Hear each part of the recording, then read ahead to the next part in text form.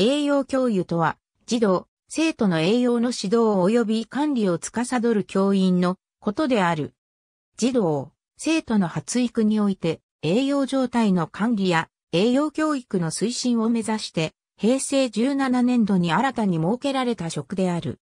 職務は食をコントロールしていく、食の自己管理能力や望ましい食習慣を子供たちに身につけさせる食に関する指導と学校給食の管理である。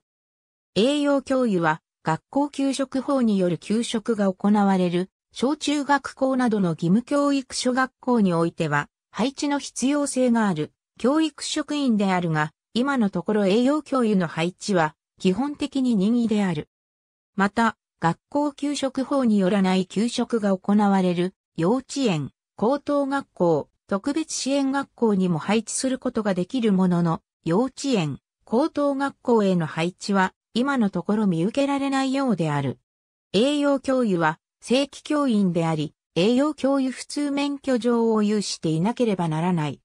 なお、栄養教諭は現行の教員免許制度からすれば、教員免許で唯一普通免許状のみであり、特別免許状及び臨時免許状はない。現職の学校栄養職員は、一定の在職経験と、都道府県教育委員会が実施する講習等において、所定の単位を習得することにより、栄養教諭免許状を取得できる、要法律上特別の措置が講じられているが、2019年11月現在、講習がほとんど実施されておらず、講習での取得は、ほぼ不可能に近い。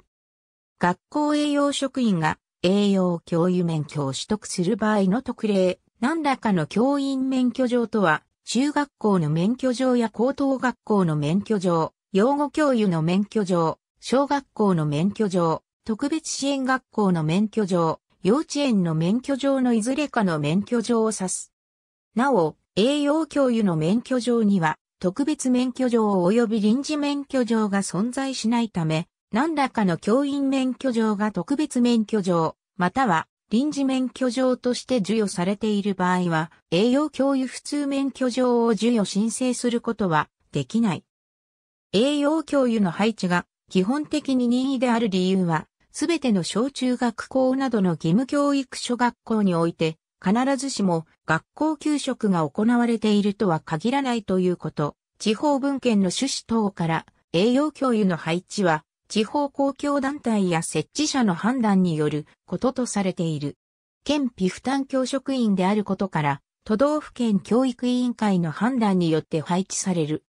栄養教諭制度の概要文部科学省特別免許状に関係する学校種は小学校、中学校、高等学校、特別支援学校の4校種が該当する。